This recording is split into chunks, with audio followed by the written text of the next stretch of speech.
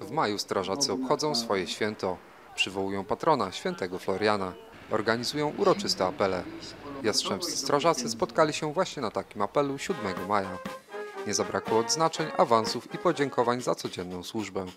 O tym, jak bardzo Straż Pożarna jest potrzebna dla społeczeństwa, mówił zastępca prezydenta miasta Janusz Buda. Strażacy są bardzo ważni dla naszego bezpieczeństwa i to nie jest tylko to, że strażacy gaszą pożary, ale tak naprawdę pomagają przy kolizjach drogowych, e, przy zdarzeniach e, z wypadkami chemicznymi. Naprawdę to spektrum działania jest bardzo duże, a bardzo dobrze to obrazuje tutaj ten sprzęt zgromadzony, który mówi nam, że strażacy są osobami profesjonalnymi, zawodowcami i poza tym Oprócz tego, że to jest ich praca, ale tak naprawdę to jest misja. I warto tutaj również powiedzieć o strażakach ochotnikach, którzy na co dzień gdzieś zajmują się e, swoim utrzymaniem, pracują, ale gdy usłyszą dźwięk alarmu, biegną do swoich strażnic i niosą pomoc.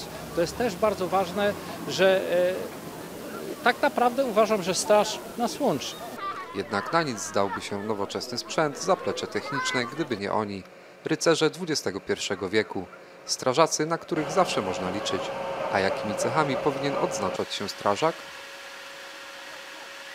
Przede wszystkim ta skromność, przede wszystkim zdecydowanie, e, przede wszystkim e, odpowiedzialność, e, sprawność. To są te cechy, które powinny cechować kandydata na strażaka. Później życie weryfikuje, czy ten człowiek się nadaje do służby, czy nie. Przez tę koleżeńskość, bo my gramy zespołowo, także e, jeden na drugiego musi liczyć, jeden na drugim może, musi polegać, to e, nie może być tak, że e, ja- ja- jakiś indywidualista jest. W święcie strażaków wzięli udział najmłodsi przedszkolaki. Być może to oni są narybkiem, z którego wyrosną strażacy? Najwięcej frajdy sprawiły im pokazy. Z zapartym tchem patrzyli, jak gasi się pożar, jak udziela się pierwszej pomocy. Duże zainteresowanie wzbudziły strażackie psy.